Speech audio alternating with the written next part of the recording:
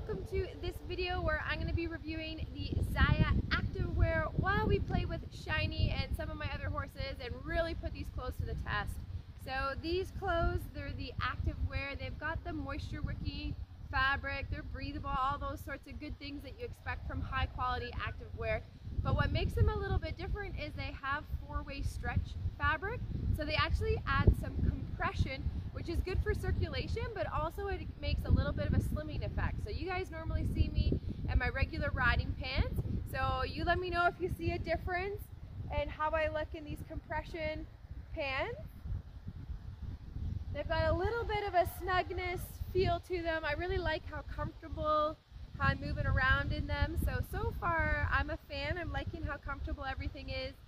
Uh, the top, I know it doesn't really work with the bra I'm wearing, but this was the top that I got. So anyways, we're, we're working with that.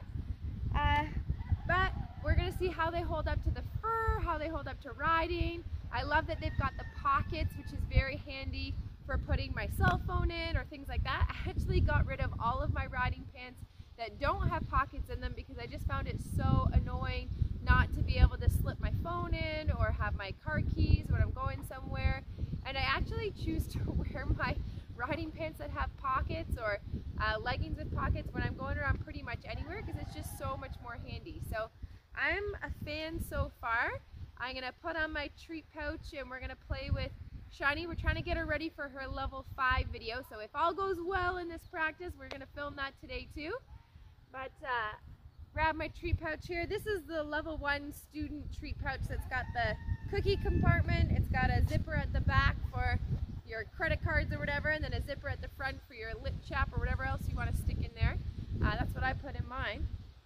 But uh, we're going to get ready to go here with Shiny and uh, test out this active wear, this Zyia active wear, and uh, we'll see how it goes. Because if I like it, then I'll be uh, putting up a link for a shop for where you guys can get some of this stuff for yourselves. And it's pretty reasonably priced. These pants are 87 bucks, which um, you guys know for high quality activewear, that's a pretty good, pretty good price point, and that's Canadian dollars, which for Americans basically makes it free with your dollar exchange. So, anyways, let's play with Shiny and have some fun. All right, so let's show you some fun stuff with Shiny as we try out this Zyia Active Activewear. So first up, we're gonna do some Spanish walk here. And this is only her second day doing Spanish walk. I introduced the idea of lifting her legs yesterday when I was working with her. So I'm really happy with how quickly she's picked this up. So she's doing a lot of stomping and pawing, uh, but I'm not discouraging any of that because she's bringing her legs up and forward. And I want to reward the really nice big steps that are really lifting of her leg. And then I'm going to try to time the reward such that she does a nice big lift and try to get that down so she's not doing as much pawing and instead just doing the lifts. So this is really great because some horses, they really don't pick it up this easily. So you can see I'm trying to time now, stepping forward and rewarding her so that I try to cut out that time of doing the stomping or the pawing and instead make it more just the lift and place the foot back down. Some horses, they take a while to learn to lift their leg up nice and high like that. Or when you start to walk them forward, they start to lose their lift a little bit. So the fact that she's kind of starting to get it where she steps and lifts and steps and lifts, I'm pretty happy. And she's already starting to get both legs as she goes along. Occasionally she'll forget one, but like, look at that. That was really good. That was three steps in a row. So I'm really happy with that. So then here we're going to go out on the circle and take a look at another one of the tasks, which is to start to be able to do halt transitions on the circle. So in Harmony Horsemanship, we spend a lot of time drawing our horses to us, and that's how we start things because we want the horse to come to us when we're kind of complete of tasks. It really helps with liberty.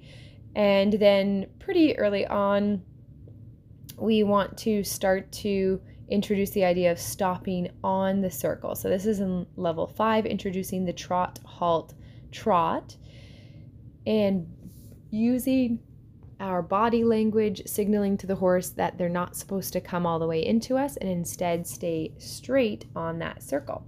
So that's a little bit of a look going to the left. Now I'm going to show you to the right. And then as we build up the level of difficulty, Shiny will eventually be able to do this even further away from me. But to begin with, it helps to be relatively close to her to start with. So that way, when she comes in like that, I can politely uh, block her at the side of the face there and just kind of say, hey, remember, stay, stay out away from me. Stay facing forward on the circle. So she didn't earn a cookie for that one because she turned to come into me.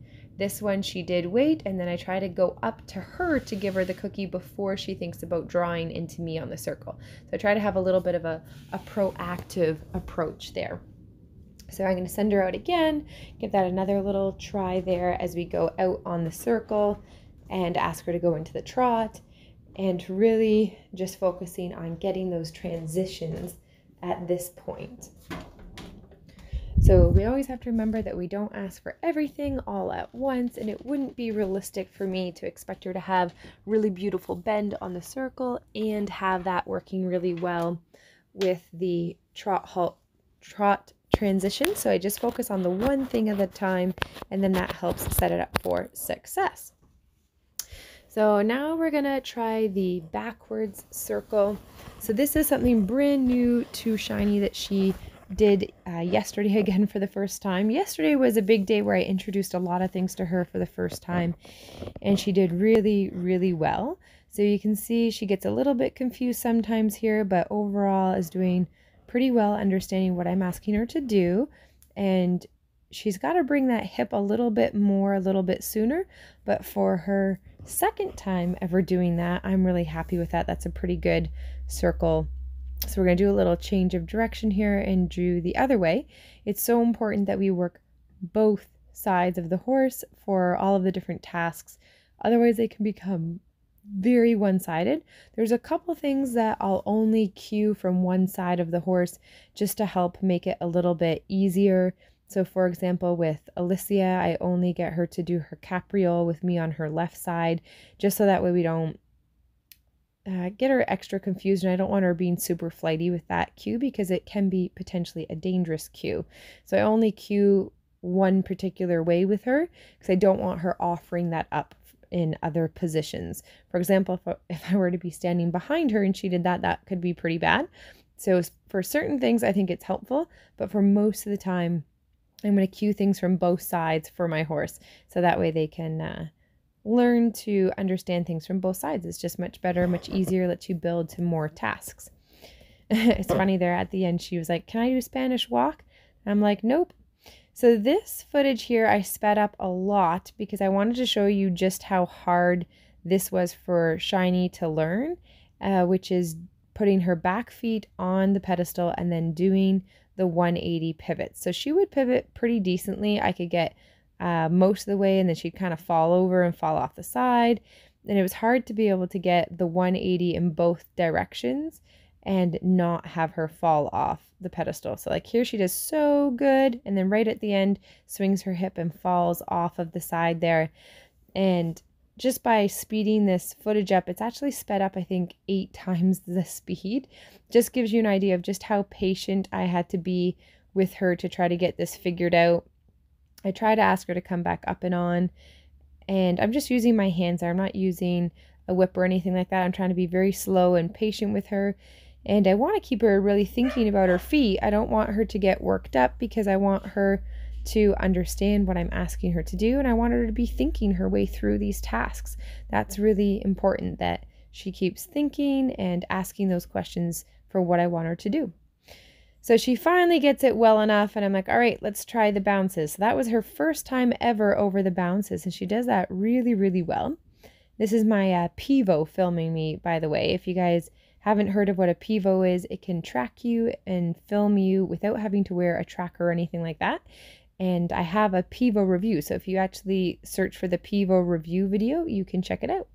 So this is me trying to teach Shiny a downward dog, which if you know downward dog from a yoga pose, the horse one is very similar. And in true Shiny fashion, she's like, you know what? I'm just going to lay down. so funny. Shiny, she is hilarious. That's basically what she did with learning how to bow. And I'm like, no, like we need to learn how to do downward dog. Not everything can be a down cue. So I'm just standing there. I'm not going to punish her or make her feel bad for laying down because laying down is still a difficult task that I want her to be able to do. But I'm not giving her a cookie for going down because I didn't ask her to do that. So I'm going to give her a little dust off and kind of get that a little bit better. And then I'm going to give that another go here. So we're going to give this another little try here. And essentially, I'm trying to draw her back and keep her feet planted. And that was much better there. That was much closer to the downward dog that I'm looking for. So I wanted to reward her before she basically fell on her face and did another lay down. Uh, so we left it there, which is pretty good. So here I'm asking her to back up by a tail, which is something that we learned a little bit the day before. But as you can see, she's kind of like, what? What did, what did we learn yesterday? I don't, I don't know what that is. So I'm going to speed this up again, eight times the speed for getting her to back up by a tail, just to show you how much it took of trying to teach her to back up and kind of get those two signals going together. So I'm using the feel on the tail, but I'm also using my verbal cue back.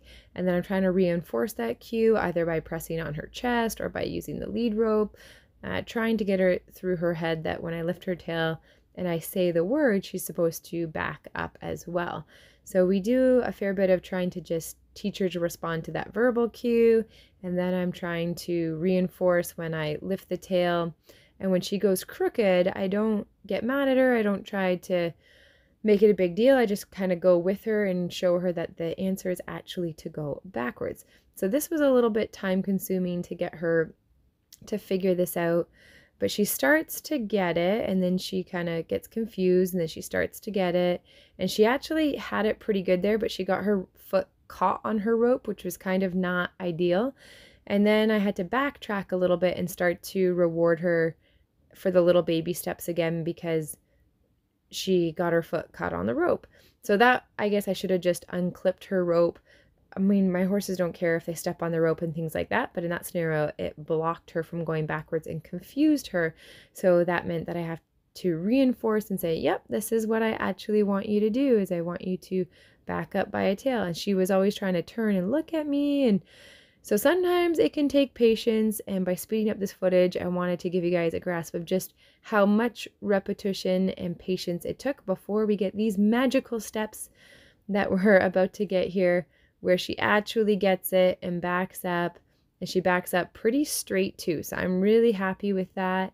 And it took quite a while before we got it figured out, but with patience and understanding and focusing on that communication, we get that happening. So now I am riding, I'm doing some bridleless warm up with Alicia. So we're going bridleless around. And I wanted to show you this footage sped up just so you could get an idea of just how much I rode in this active wear before I decided to get off. And I'll slow it down in a second to show you. We're going to work on some bridleless lead changes in a minute here, as well as some bridleless uh, bounces and working on the timing but I just wanted to show you, I did a fair bit of riding, fair bit of warm up, because then at the very end of the video, we're going to take a look at the seams on the pants to kind of see if they hold up to the wear of going around. So here is some bridleless work, starting to work on some bridleless lead changes. You can see she got her front legs, but not her back legs. So if you're not sure what I'm talking about, if you watch when the horse canters, see how right now the right legs extend further than the left legs. So that's called leading. Those are the lead. So the right legs are leading the left legs. So a flying lead change is when you're cantering and you stay in that canter rhythm and then the horse switches their lead. So instead of leading with the right legs, they would lead with the left legs. So watch, right? When's it going to happen? There. See how the left legs switched?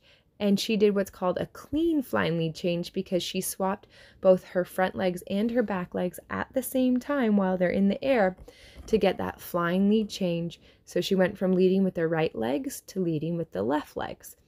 So this is something that I'm teaching her to get her flying lead changes and to do them bridleless, which means she really has to listen to my body and my cues to get them. And sometimes what happens is she gets a little bit sloppy, a little bit lazy, and she'll just do her front legs and not the back legs. So I'm working on getting both the front and the back, making sure she understands that I want them both. So here going off into my canter transition. So you can see she's also doing a lot better with those walk canter transitions. We're to come around on the left lead. Watch right there. She swapped and did her front legs, but see how the back legs are still leading with the left leg. See how the left leg, the back leg is still going forward. See that there? You can see it. The left back leg is still going forward. Here I'm going to do the little jumps to sort her out and then we'll pick up that canter again. Now see how both the front right legs and the back right leg are matching. They're both leading. So when you have the horse doing opposites like that, where you have the front legs doing one thing and the back legs doing another for canter, it's called a cross canter. So she was cross cantering. Uh, not super desirable because it's not super balanced. And sometimes an easy way to fix it is to just have your horse go up over a pole or a little jump because it just gives them that little bit of extra time in the air so that way they sort themselves out. So we're going to try this again see if we can get those flying lead changes happening. So, so far she's giving me a clean one from the right to the left, but I haven't got one from the left to the right yet out here. So we're going to try to get that happening. It gives me a nice little goal. You can see our new little jump fillers. See the fire and the waves that we made? Those were something new that my staff made this week. I was pretty excited about that. So we're going to come around here. We're to catch the little jumps. And you can see she's leading with the right leg. See how both the back legs and the right legs, the front. And then we switched. You can see she got the front, but see how the back is cross cantering? So then I do the little jump and she still cross canters, which is like really bizarre. It's like, how can you possibly do that? And then she does finally get her bum. Did you see it swap a few strides back there? I did the little jump there with her. And then we're going to come around, see how she did her front legs again, but see how the back legs didn't switch and watch the jump. And she's still cross cantering, which is just really, really weird that she jumped and still cross cantered. I didn't feel it right away, so I didn't pick up the canter right away. So we're going to go into the canter again and see how the right legs are leading, both the front and the back legs. The right ones are coming forward. We're going to come across the ring here, make the change. See how the front leg swapped? So now I just got to get her bum so we're going to go over the jump and she did give me the hind leg. See how now left legs are leading? We're, we're going to try again. I got the front legs. I need her to give me the back legs. And instead of giving her the jump, I let her do a little simple change there, meaning she got to trot a stride. So I'm keeping her going now. There she finally gave me a clean flying lead change. So she's going to earn a cookie. But I was just keeping her going in the canter to say, okay, if you don't start putting in a little bit more effort with these lead changes, you're going to keep working. We're going to keep going until you get it. And that adds a little bit of motivation because sometimes just the cookie at the end is not enough. Sometimes you have to kind of be like, all right, you're going to work a little bit harder if we don't get this to happen here. So we're going to give this another little go in a second. So notice how that was a right to the left. So that's the second time we've gotten a clean change from the right to the left, but we still need to get one from the left to the right in order for me to feel like we've got a win going on here. And we all know that if you remember back from Alicia's first videos, that the right lead used to be really challenging for her, and it still is more challenging than the left lead, but it is something that she can do. So let's try again. We got the front end. Can we get the bum? Boom, got it. See how that it was late, meaning that she didn't do it at exactly the same time, but it was only a stride off there. So that was pretty good there. So we're going to give her a cookie for that. And we'll wrap up the bridleless riding for today. And then we're just going to take a look at the Zyia Activewear after doing a ride, what the seams look like on the legs. So sometimes if you use yoga pants or athletic pants, they can get really rubbed and worn.